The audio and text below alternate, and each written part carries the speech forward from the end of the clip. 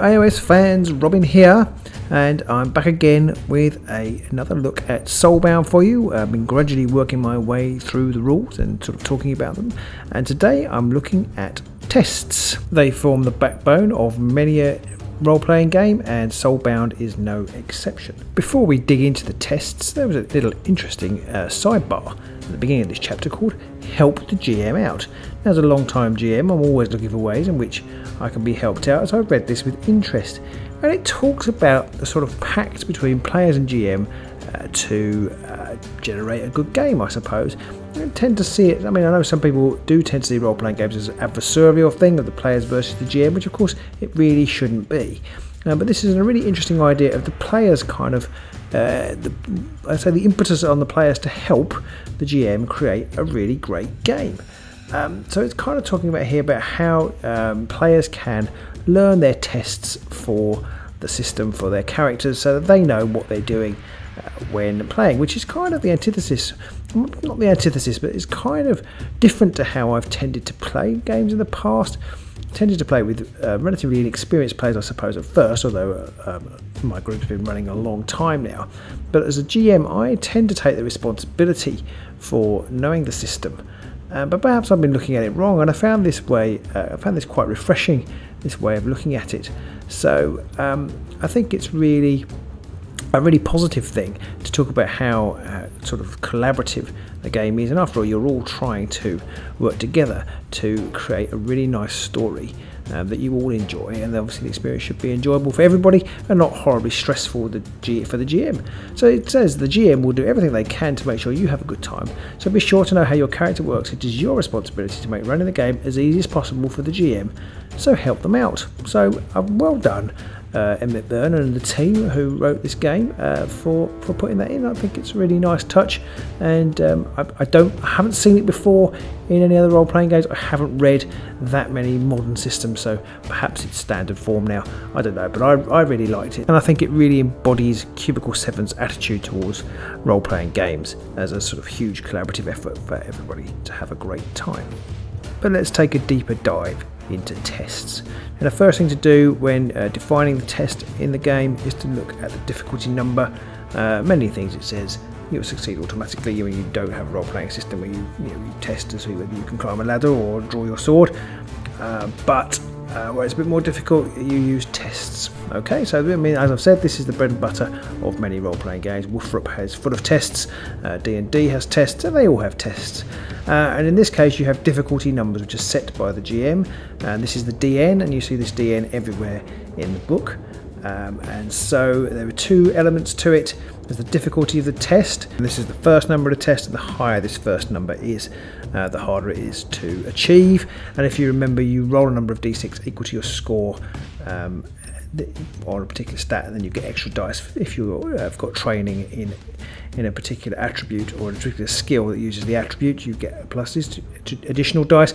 But obviously, if you've got a difficult number of six, it's much much harder to do than if there's a difficulty number of one, because you're trying to roll over the difficulty number. The second element is the complexity. Some more complex tasks require that you're successful on more than one dice roll, so you might be rolling three dice, but you might actually have to get over the difficulty number on all three of the dice that you're rolling, which makes it obviously harder to do.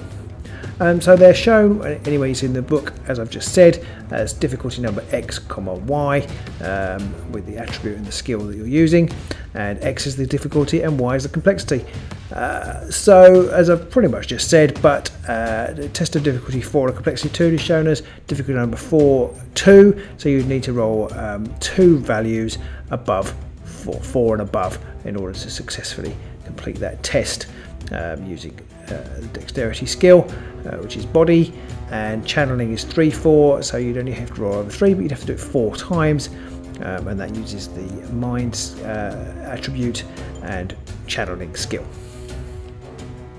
And following on from that, as I've already said, uh, the number of dice you roll when making a test, that's referred to as your dice pool, and your dice pool is determined by your attribute score plus the level of training with the skill being tested. So if your attribute score is 3 and the relevant skill is you've got training of 1, then you would roll 4 dice, and so on. It's pretty straightforward. In the game, we see three types of test. Um, the first one is a common test, and by their name, you'll see these more often than not, um, and they're generally just tests. Um, and they're immediate tasks not directly opposed by another party, such as leaping over a gap. So they're kind of like tests of your personal ability, if you like, uh, things that you do, can or can't do. Opposed tests are when you're trying to uh, outwit or best another party in direct competition, um, and this is an opposed test. Now, opposed tests quite often the backbone of role-playing games, um, or not the backbone, but they quite often make up uh, some of the more complicated mechanics. But this one is pretty straightforward. I'll come on to exactly how it works, uh, but it basically is both of you are trying to succeed against a uh, set uh, difficulty number, which the GM is, is creates by the uh, GM, and the person who achieves it best uh, is the winner. More complicated and something I haven't necessarily got my head around yet are extended tests. So these happen over the courses of days, weeks, or even months. Um, and they but they seem to be like things that kind of happen between games, in between sessions, when you're off in your off time, you're trying to learn a new engine for your rig, as it says, or try to learn a new language. Things that take time uh, and that you can work on, and the sort of thing you would go, you would tell your GM, well, I'm going to try and do this, and he would say, well, you make these tests, and if they work, it works. And something you might, I suppose, you might do it in the background of your games. You could learn a new language, I suppose, if you said you were practicing in between quiet times when you're resting at camp or what have you. Uh, but that is a uh, it is a more complicated uh, but you've got more time to kind of sit and work them out how they might actually work. Um, and they often require a greater number of successes than can be achieved in a single roll. So they might have to you might say have to roll uh, taking off the top of my head but you might have to make several successes over a number of weeks to learn a new language. So the, if you make your first test you can say who you are and where you live. Uh, maybe but if you make the second test you can go on to talk about your hobbies so let's have a little look at difficulty. So as mentioned already, the difficulty test is the number uh, you must equal or exceed on a dice for it to count as a success. Some tasks are simple, such as kicking a down, down a door or jumping over a gap, and they require one success. So they are the simplest types of test. Some require additional successes, and they are the ones that involve more complex tests. That's, it's pretty straightforward. So here are the difficulty numbers explained. Um, so it's very easy, you just need a difficulty number of 2 on one dice. Going all the way up to very hard, uh, which is 6, you need a success of 6, and be scaling a sheer cliff face made of smooth glass as opposed to climbing up a wall, with various climbing up a tree, climbing a rocky outcropping, climbing a rocky outcropping during a storm. You can see there's a kind of sliding scale of difficulty. Now, should you always roll? Well, sometimes yes, and sometimes no. I mean, that's a bit of a wishy-washy answer, isn't it? But it is a great, as the, they're often at pace to stress, as I've said already. It's about the storytelling in this game. So if rolling the dice doesn't improve the story, isn't like to improve the story if they fail, or whether they, even if they pass, then just don't make the test. Don't break the flow of the game uh, by stopping everybody to roll dice. I think that's the method, the message in that uh, little segment there. Some tests might be simple, yet somehow complicated or at least take a long time. For example, if a character is looking for something in a cluttered room, it's not a difficult task, you can do it, but it'll just take a little while, so it might have a higher complexity because you might have to roll several successes before you find what you're looking for. So let's have a look then at the bread and butter of the game, and that is common tests. These are the things your character will be making most of the time. Hopefully, not too often. Hopefully, you'll be able to kind of just role play your way through, but every now and again, you will have to roll some dice, and most of the time, you're going to be rolling dice for these kind of common tests as you try to perform some sort of feats and marvellous acts of daring do.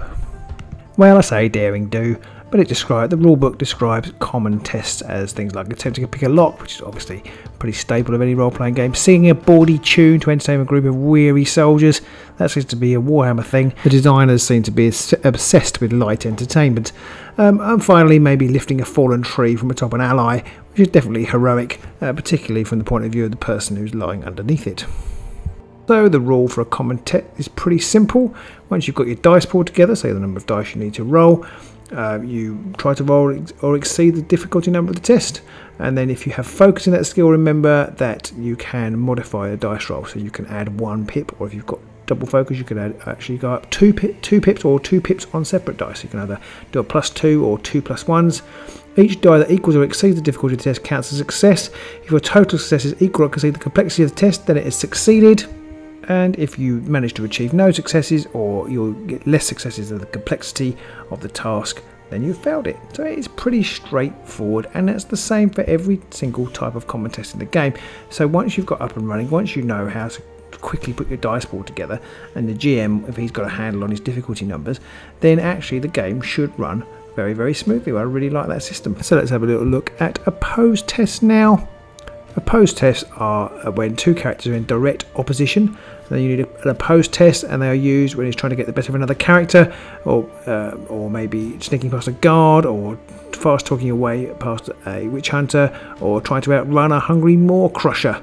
Um, and when two characters take part in an opposed test, they both try and meet or exceed a DN determined by the GM. A DN determined by the GM, so a difficulty number determined by the gaze master. And this characters here, I think, tends to mean NPC and player character, although obviously you could have a post test between two player characters. And there's a default uh, difficulty number of 4 to 1, of course, doesn't mean 4 to 1 at all and demonstrates the perils of trying to read while uh, talking. Uh, it's a difficulty number of uh, 4 with a complexity of 1.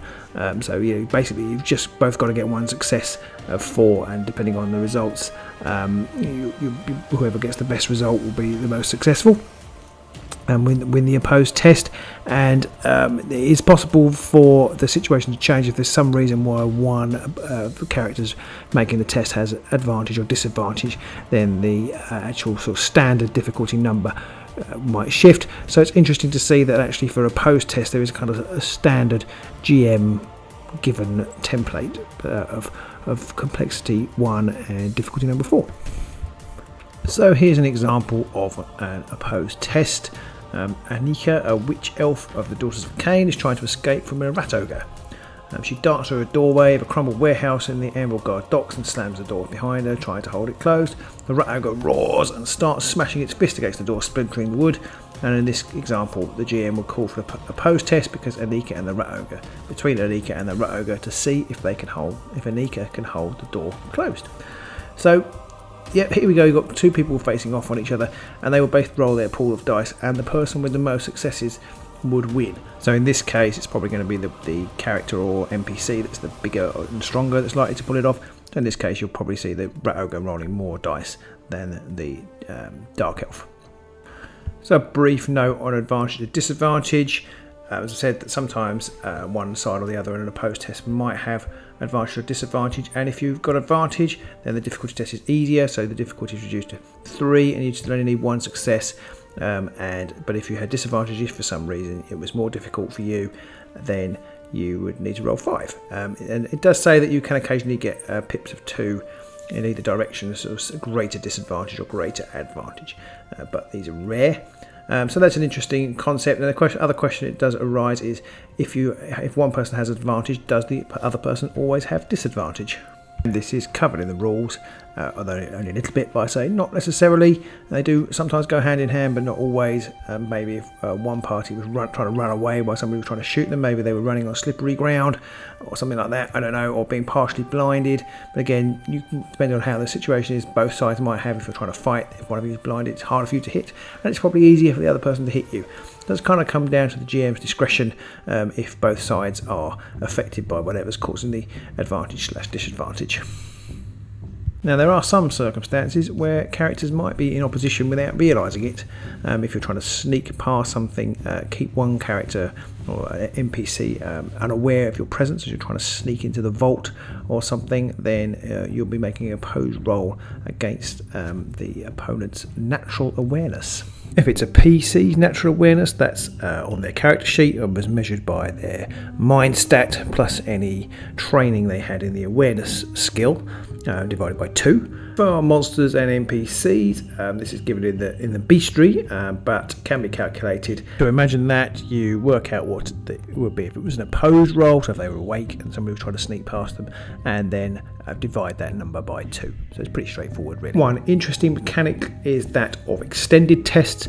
This is perhaps a little bit hard to get your head around without kind of playing in earnest, but um, these things tend to occur, I think, between adventures. So you've got extended tests Some tasks, such as crafting a suit of armour or aetheric armour or fostering a network of informants, can take weeks or months to accomplish. Uh, for tasks with little time pressure that require focus and dedication, the GM can make the characters make uh, extended tests. So it's kind of like you pick something quite complicated that you want to do, and then you make an extended test. So how do they work? The GM needs to determine how what the difficulty number is, and this difficulty number will be massive, uh, suggesting the rulebook somewhere between 10 and 20. And then the GM will also need to determine how much time this will take. So maybe it will take three months, maybe it will take six months, or maybe it will just be two or three weeks. Um, it all depends on the nature of the test. Um, and then the GM has to determine the, n- total number of attempts you can make. And then if you haven't succeeded, you haven't got enough uh, sort of successes after doing, say, I don't know, you need 20 successes after having maybe 30 tests over three months, then uh, the test is a failure. And the GM obviously also has to determine how often you can take the test, which again, very much going to depend on the nature of the uh, thing you're trying to do. And so, quite often, I think, I feel like this is one of those cases where roles might not be needed. It's all going to depend on a little bit of role playing, a little bit of planning on the character's part. Uh, but there could be some things which are very much you can't really plan how to build a massive aetheric engine, and therefore, this kind of is kind of a set way in which you're looking at uh, accomplishing uh, that particular feat or, or endeavour. How do you determine the difficulty number for this kind of test? Well, they um, suggest that you uh, divide the total number of successes required by the number of attempts allowed, and obviously the higher that ratio, the harder it is. So if you have got to get 16 successes in four attempts, then that's going to be pretty tough unless you're very very skilled because you've got to roll four successes in each go. But if you were doing it over eight attempts, you only have to roll two, which would be significantly easier and I guess you would balance that out uh, with your GM uh, to sort of determine how exactly you're going about the test and what uh, measures you're taking to um, um, sort of improve your chances of success. What skills might you use? Well, again, that's determined by the GM, but again, it might uh, involve a discussion with your with the player and the GM determining how they're going to do it. So the GM determines what attributes and skills are pertinent to the test, and it will usually be the same skill but not necessarily um, because um, for each attempt the GM may decide other skills have come into play depending on the discussions you've had with them. Um, and it may be that you need to use your lore skill to do some researching and then haggle for parts and then maybe craft and complete the work. Similarly, if you're trying to set up a network, there might be some stealth involved, or you might have to do some uh, guile for, for, sort of haggling for working out uh, contacts and things. So there's quite a lot of possibility with the extended test, which I really, really like.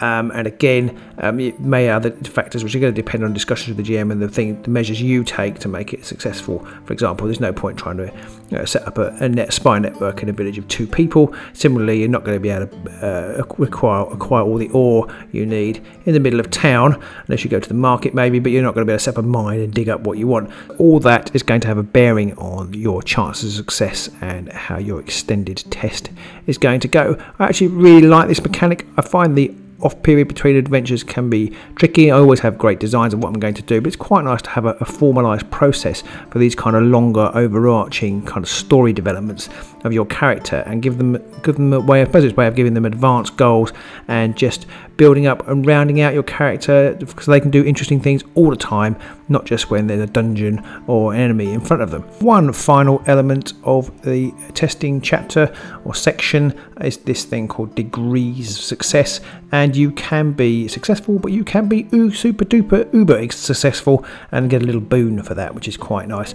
So if you get equal to the difficulty number, if you pass it, so you you know you need you need three successes and you get three successes, you've completed the task. No more no less. If you did it with flying colours, so maybe you got uh, two uh, successes greater than that required, you complete the task and gain a, gain a minor benefit.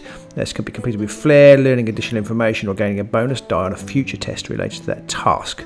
If you were lucky enough to be uh, get three uh, successes greater than the difficulty number, um, you complete that task and gain a major benefit um, which might be doing it fast, um, doing something you know something unexpected like recovering some lost or secret information, and maybe gaining a bonus dice on tasks relating to that task for the next 24 hours. So obviously it's a bit forty, a bit, a bit lucky, but it's giving you a little bit of bonus for that luck. And this mechanic has been around in uh, all sorts of role-playing games for a long time.